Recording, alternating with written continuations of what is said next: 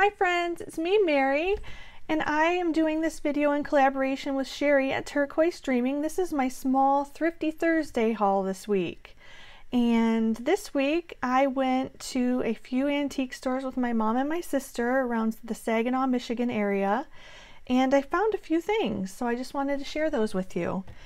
Um, of course I found a couple books like I always do. These ones are bird books mainly. And this one is the Yellow Book of Birds of America. And this is so pretty inside. This one is sort of like on the outside, it's not so pretty because it's very old. I think it's from 19, yep, 44. And this is Gerhardt Mammal Jr.'s book. So he has quite the name, right? but he used this book quite a bit. But look at on the inside all these pretty like bird pictures. And they're like perfect to use in junk journals. Like matte pictures. I just love them.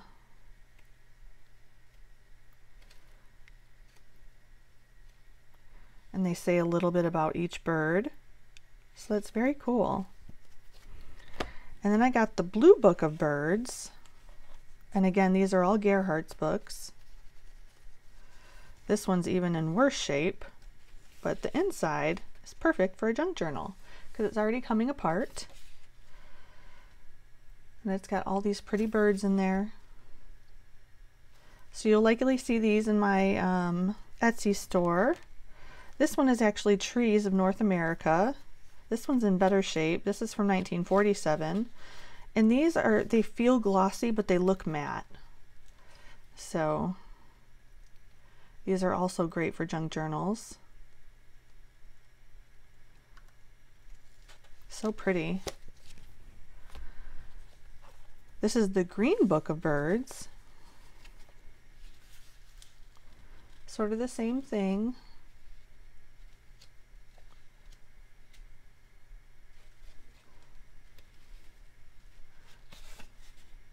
So pretty. And then, of course, the Red Book of Birds. and these are like ducks and geese and stuff like that, herons.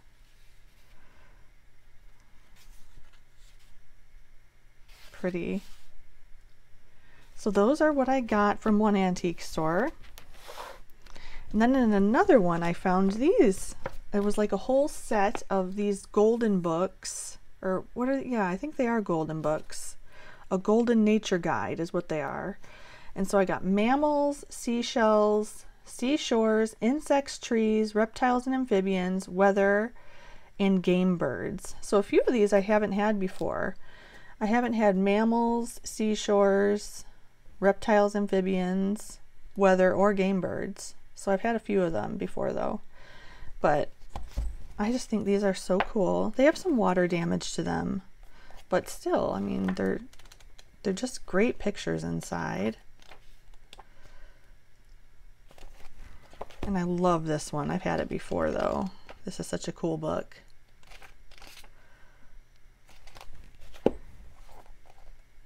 This is probably one of my favorites.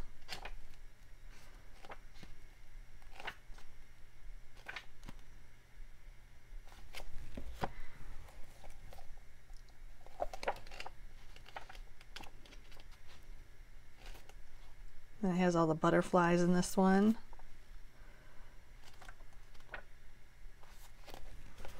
And then I also have the hardcover um, copy of this, which is really nice. It's really hard to find though, the hard copy, hardcover copy. And then this reptiles and amphibians one. I haven't seen this one before.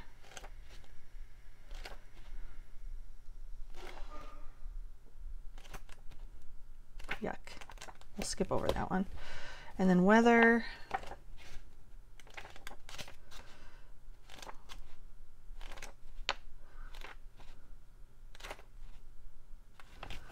And then game birds. Oh, that one's pretty.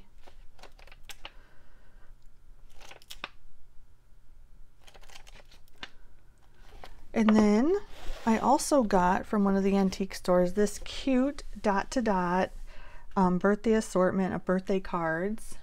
Isn't this so cute? I love the box. That's the main reason why I got it actually, because I love the box. But inside, there were supposed to be 14 cards in here, and I think there's only six. But, um, so some of them were used. But look at how cute they are.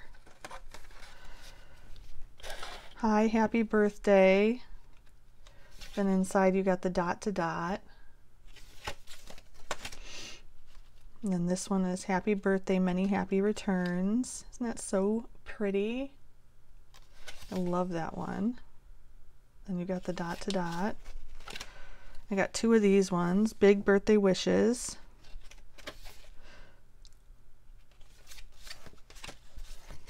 And then lots of birthday wishes. So cute. And it comes with the envelopes too. So I love those. Then I got one thing from Etsy and it was was these and they are vintage index cards from the Netherlands. So I thought that these were pretty cool. I thought you could use these for collage or something like that. So I got a bunch of these. They took a while to come in the mail, but I think they're very cute and they were a great price. So, um, so yeah, so that's my small haul for today, friends. I hope that you enjoyed it. And um, I hope that everybody's doing well and enjoying the spring weather. And until next time, friends, love ya. Bye bye.